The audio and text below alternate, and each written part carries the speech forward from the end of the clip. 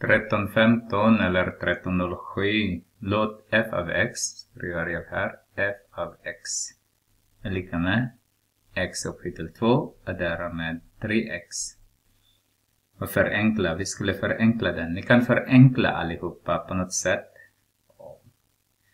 Kan skriva allt på en gång, men jag skulle inte göra det. Jag skulle titta först på f av 2 så blir det enklare för min del. Så har vi f av 2, så har vi 2 upphöjt till 2, och därmed 3, multiplicerar med 2.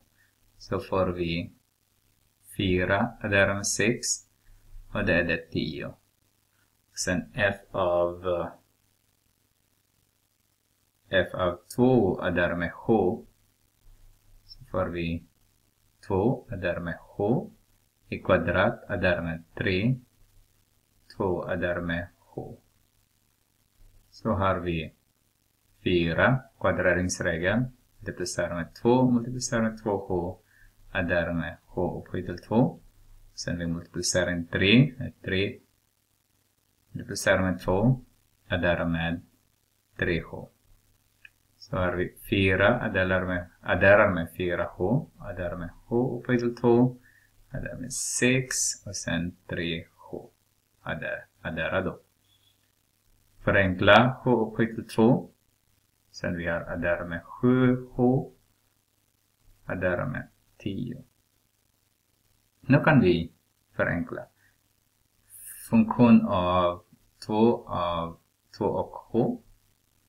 Subtraherar funktion av 2. f av 2. Dividerar med h. Så har vi h upphöjt till 2. Addera med 7h.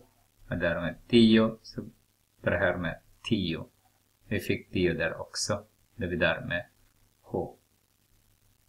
Den där är 0, så har vi bara H och till 2 är därmed 7H. Det vi där med H. Så bara höja eller utöka. Så har vi H som är gemensam faktor. Tar vi ut, så H adderas med H. Är 7.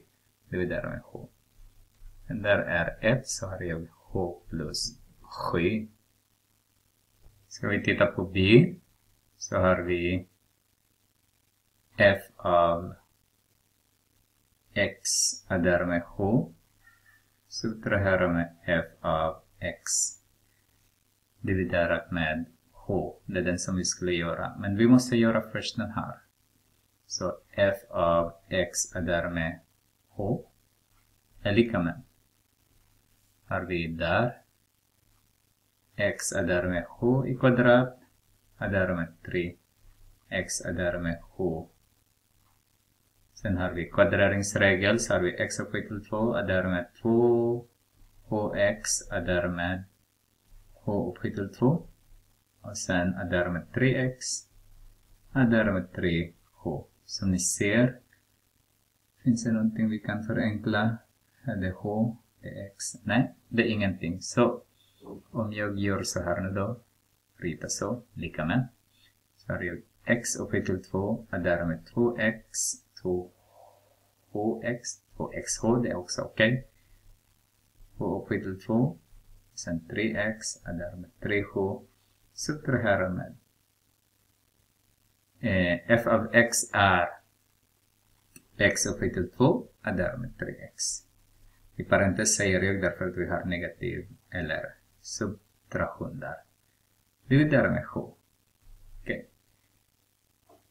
Om, om den här blir negativ, så om jag kan göra den här så att den här blir 0, då blir det lättare för oss allihopa. Och den här också blir negativ.